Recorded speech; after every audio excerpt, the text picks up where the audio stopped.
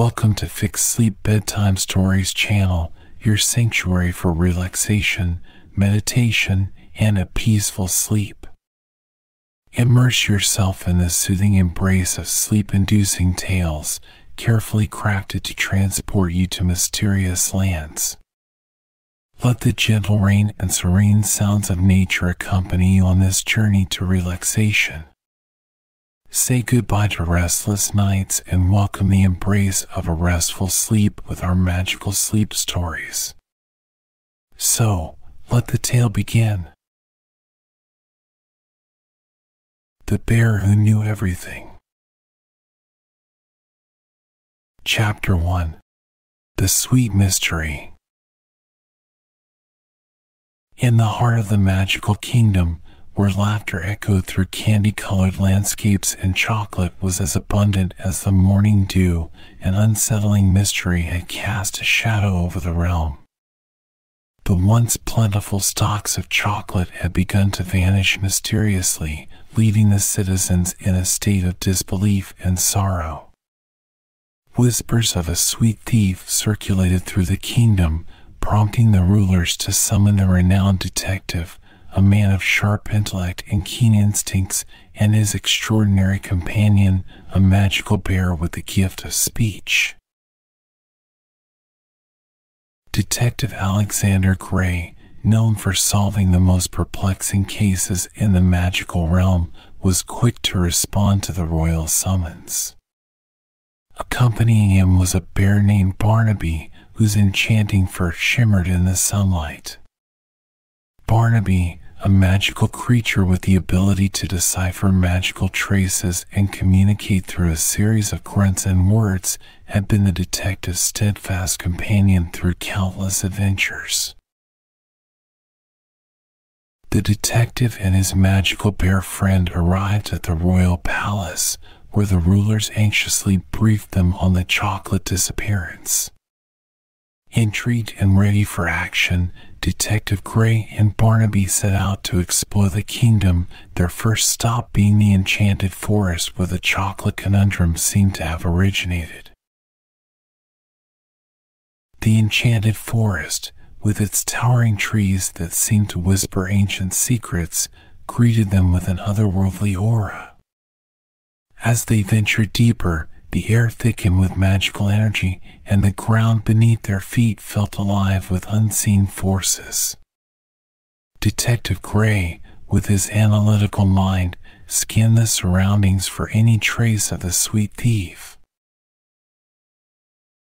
Barnaby, attuned to the magical currents of the forest, sniffed the air and pointed his snout towards a faint shimmer in the distance. Following their instincts, they entered a glade bathed in soft, ethereal light. At its center stood a majestic chocolate fountain surrounded by curious woodland creatures.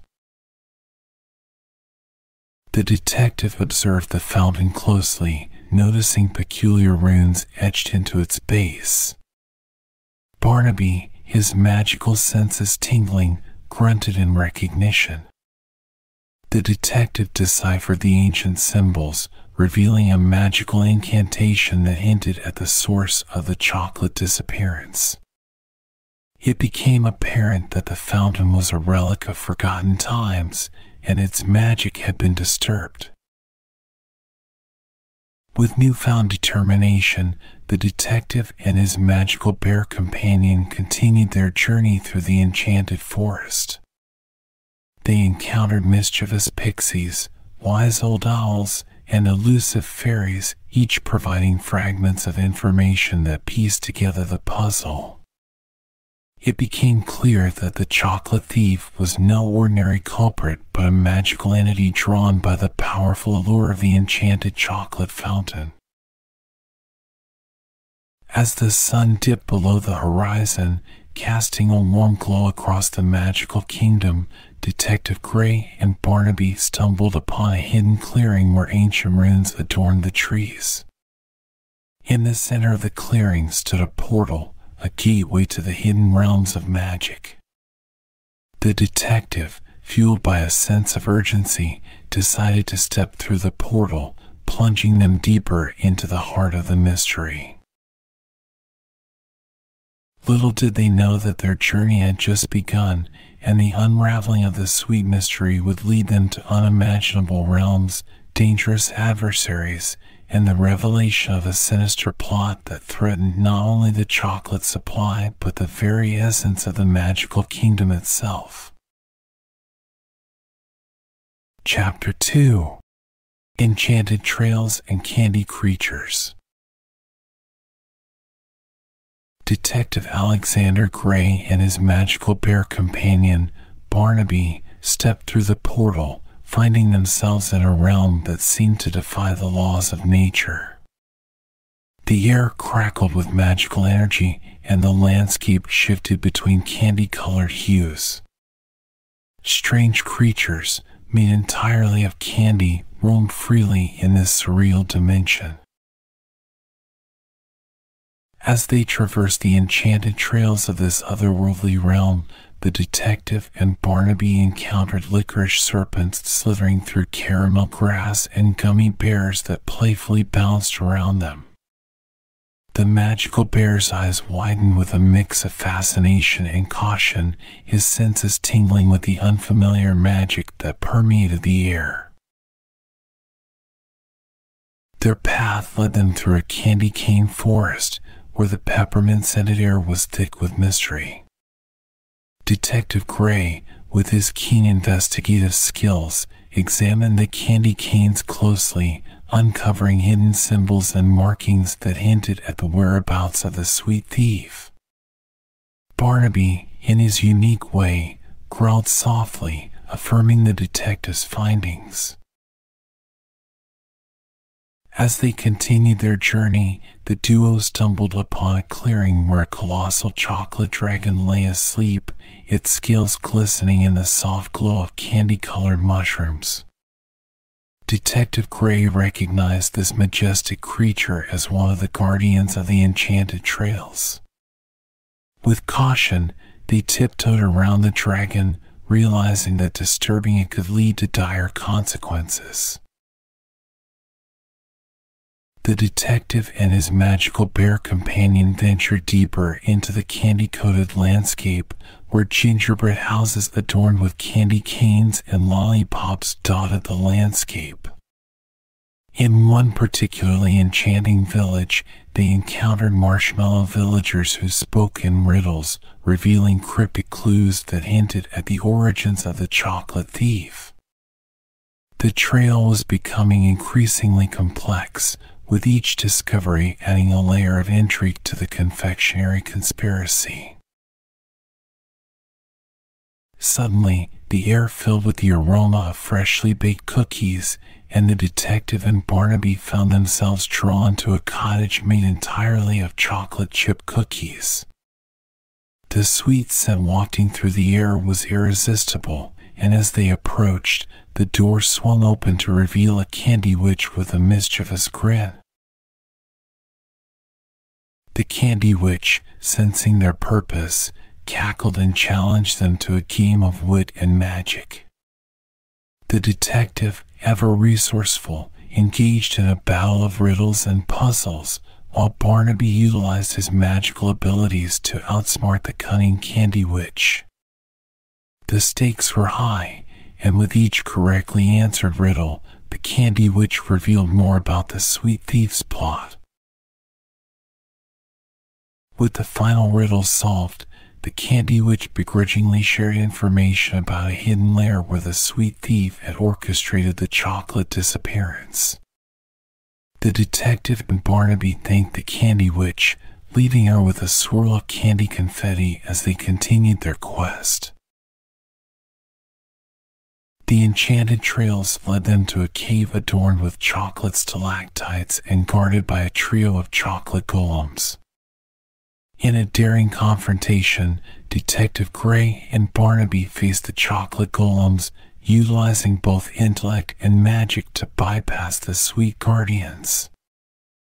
As they entered the cave, the air became thick with anticipation, signaling that the heart of the confectionery conspiracy was near.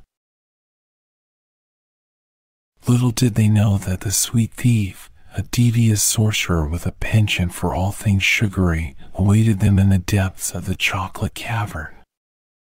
The detectives' resolve and Barnaby's magical prowess would be put to the ultimate test as they confronted the mastermind behind the disappearance of the kingdom's chocolate supply. Chapter 3 Confectionery Conspiracies Detective Alexander Gray and Barnaby emerged from the chocolate cavern, their senses heightened as they ventured deeper into the heart of the confectionery conspiracy. The magical realm pulsated with sweet enchantment, and the duo pressed on, following the trail of clues that had led them to the clandestine lair of the sweet thief. Their path took them through a labyrinthine maze made of cotton candy walls, where caramel spiders scuttled away as they approached. The air was thick with the scent of melted fudge, and the detective's keen instincts told him that they were drawing closer to the epicenter of the confectionery conspiracy. As they navigated the candy maze, the walls seemed to whisper ancient secrets of forgotten enchantments. Detective Gray, attuned to the subtle nuances of magic, deciphered the hidden messages within the sugary walls, revealing the history of the sweet thief and the dark motives behind the chocolate disappearance.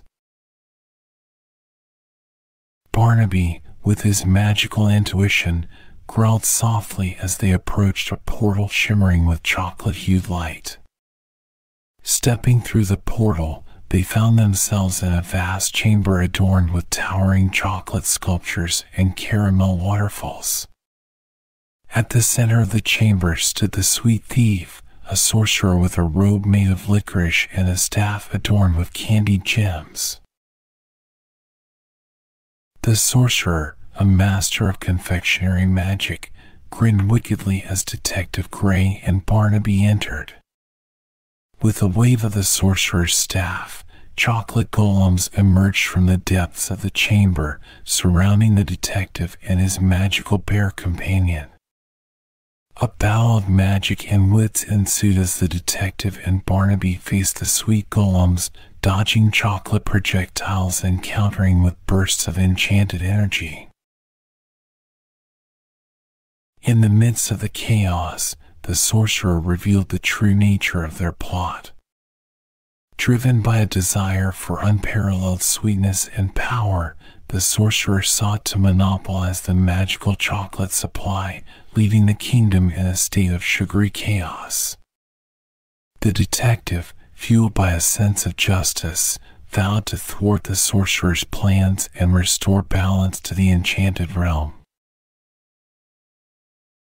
Barnaby, with a roar that echoed through the chamber, unleashed his magical abilities, dispelling the chocolate golems and creating a barrier of protective energy.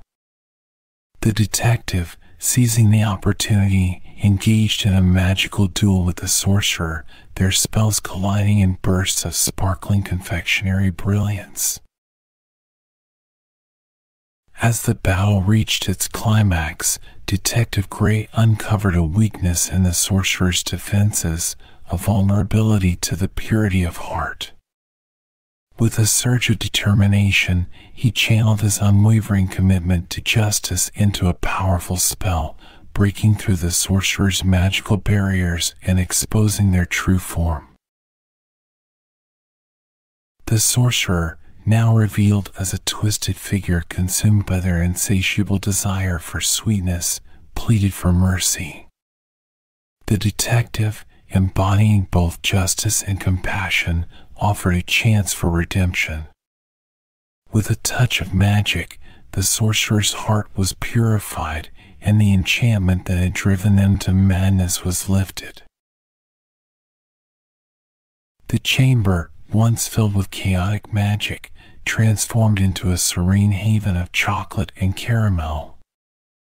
The enchanted realm seemed to sigh with relief as the detective and Barnaby emerged victorious, having thwarted the confectionery conspiracy and restored harmony to the magical kingdom.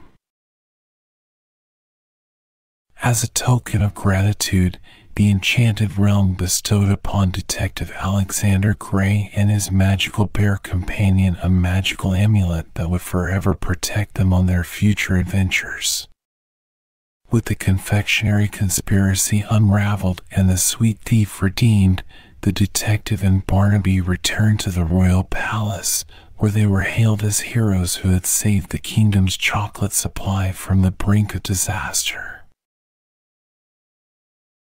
Little did they know that their triumph over the sweet thief was only the beginning of a new chapter in their magical adventures, as whispers of other enchanting mysteries lingered on the horizon. Chapter 4 Sweet Resolutions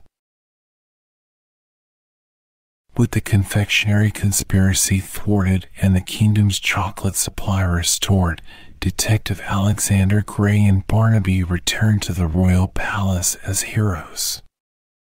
The citizens celebrated their triumph triumphant return, and the rulers expressed their gratitude for the duo's unwavering commitment to justice and the preservation of sweet delights. As they basked in the adoration of the kingdom, Detective Gray and Barnaby couldn't shake the feeling that there was still unfinished business. Whispers of other enchanting mysteries lingered on the horizon, and the detective's insatiable curiosity led him to believe that more adventures awaited them. One day, as the detective and Barnaby were enjoying a quiet moment in the royal gardens, a mysterious letter appeared before them bearing the emblem of a silver chocolate bar. The letter spoke of a new magical quest, one that involved an ancient artifact with the power to unlock hidden realms of sweetness.